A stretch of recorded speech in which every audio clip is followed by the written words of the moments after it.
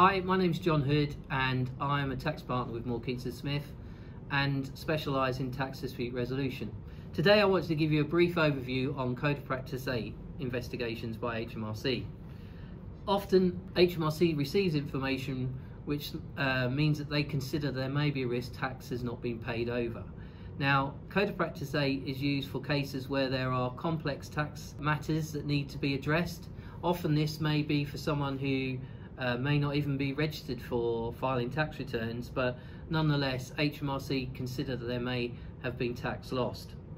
Code of Practice 8 works in an informal way. HMRC invites the recipient to have a meeting to discuss their concerns, the risks that they've identified. Now, that meeting doesn't have to be with just the uh, individual in receipt of the letter.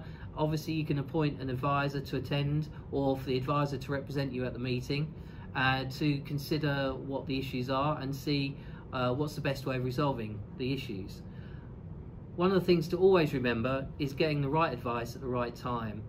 These issues can be often addressed very quickly and simply, but it can easily go wrong if you don't get the right advice.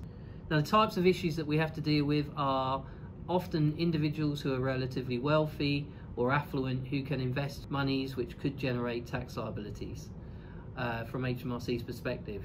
They use uh, their data mining software to identify risks. So they might not be aware that, uh, or someone might not be filing tax returns, but nonetheless HMRC may uh, gather information which they suggest, uh, consider suggests that there may have been tax lost. Now, HMRC does have formal powers which they can use. So, if you don't respond to a letter under Code of Practice 8, HMRC can start their own investigation, assessments of the tax that they consider is due. Uh, they have information powers which allow them to recover the necessary information to deal with the um, inquiry. And they also have the power to raise uh, penalty determinations. So depending on what kind of behaviour they believe has led to the uh, tax that's been lost, they can charge penalties up to 100%.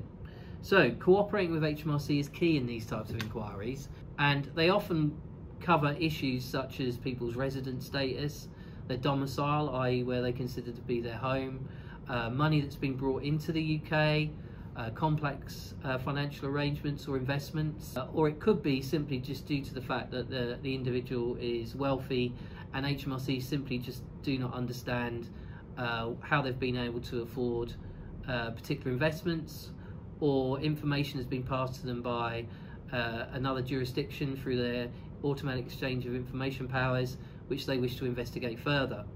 All of these issues can easily be addressed and the best thing to do is to get specialist advice, ascertain what the, the issues at the crux of the matter are, and ensure that you cooperate with HMRC to get them resolved as quickly as possible. Now that this doesn't mean that you should volunteer information, the issues have to be considered and addressed, but you have to cooperate but not volunteer. This is a really key important thing to do. Now, we can help, we can assist you in representing HMRC, so that you don't have to do that. We act as an umbrella and protect you from HMRC in these types of scenario. Um, we would have the meeting with HMRC, we'd identify what the issues are and hopefully resolve this matter as quickly and efficiently as possible.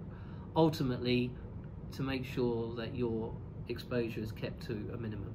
So thanks a lot for listening and I hope to hear from you soon. Thank you.